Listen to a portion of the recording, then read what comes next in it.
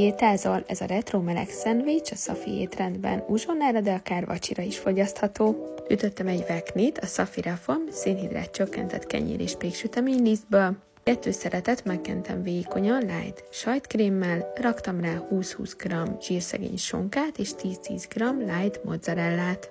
Koszori duál brészben 5 perc alatt robogósra sütöttem. Minimum 10 deka zöldséget tálaltam mellé, és pórihagyma csírával díszítettem. Elképesztően finom, mentsétek el, próbáljátok ki!